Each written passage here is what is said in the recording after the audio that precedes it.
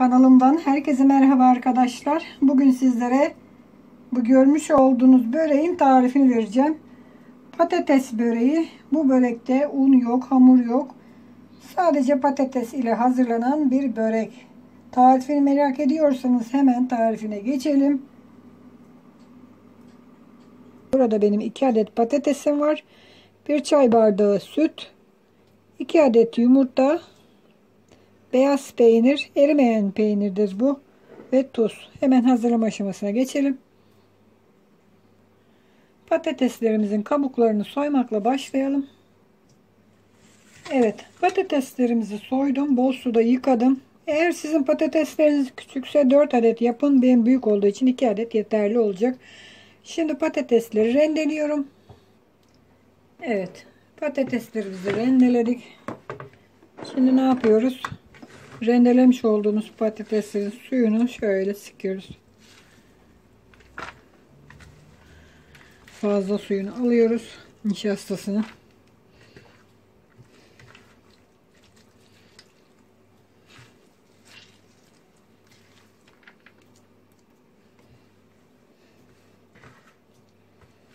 Evet.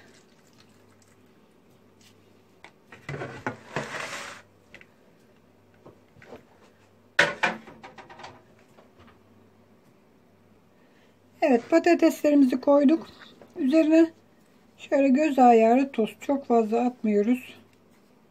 Patatesimiz tuz, e, peynir tuzlu. Peynirimizi rendeledik. Peyniri ilave ediyoruz. Şöyle.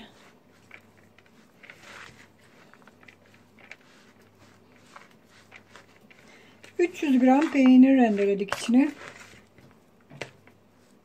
Evet. Şimdi şöyle yumurtalarımızı kıralım.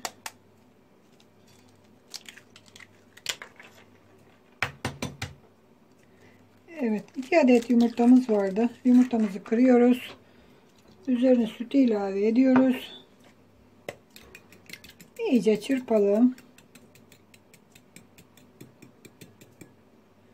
Evet, yumurtamızın içine yarım çay bardağı sıvı yağ ilave ediyoruz. Tuzunu atmıştık. Daha önceden peynirini karıştırmıştık. Çırptığımız yumurtalı sütlü karışımı patateslerimize güzelce döküyoruz. Çok fazla çırpmadık. Zaten şöyle karışırken parçalanacak. İyice şöyle karıştıralım.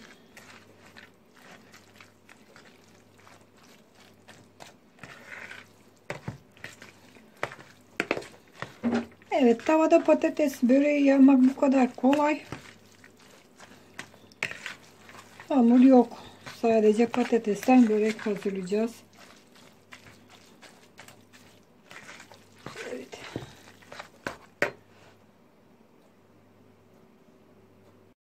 Evet iyice çırpmıştık, karıştırdık malzememizi.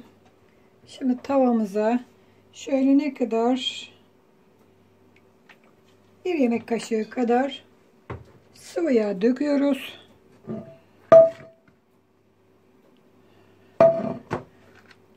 Evet hazırlamış olduğumuz patatesleri boşaltıyoruz.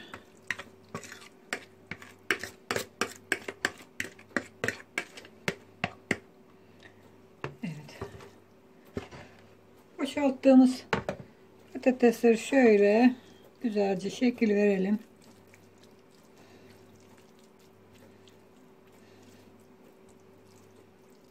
Bakın. Bu kadar basit yani.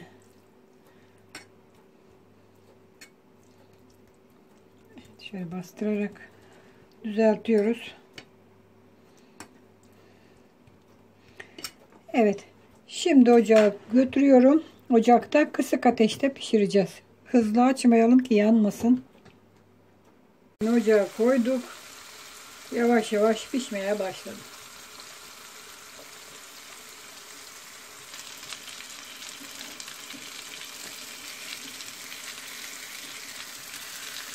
Evet bir tarafının iyice kızarmasını bekliyoruz. Daha sonra ters çevireceğiz.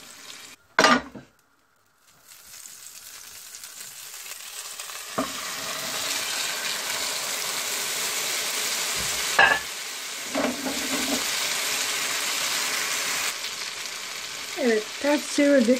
Böreğimizi, patates böreğimizi diğer tarafında kızartıyoruz. Ve daha sonra hazır olmuş oluyor.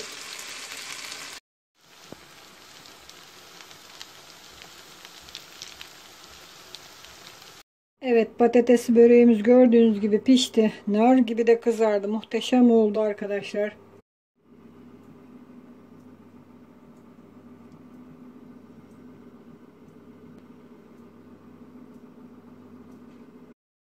Arkadaşlar böreği bu şekilde dilimleyerek servis yapabilirsiniz.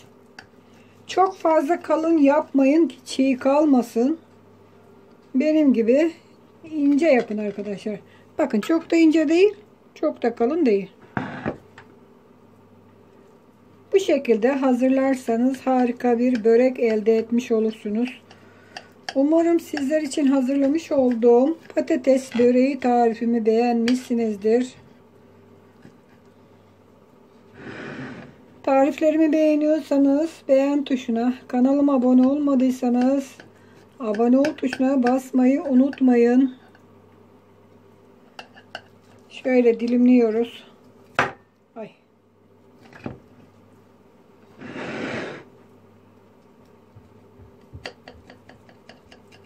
Yeni tariflerde görüşmek üzere arkadaşlar. Kanalıma abone olmayı unutmayın. Tariflerimi beğenmeyi unutmayın. Sosyal medyada paylaşmayı unutmayın. Hoşçakalın. Afiyetle kalın. Evet arkadaşlar. Şöyle kestim ki servisini sizlere göstereyim diye. Bakın, bakın ne kadar harika bir börek olduğunu kendi gözlerinizde görün. Şu anda çok sıcak ama muhteşem.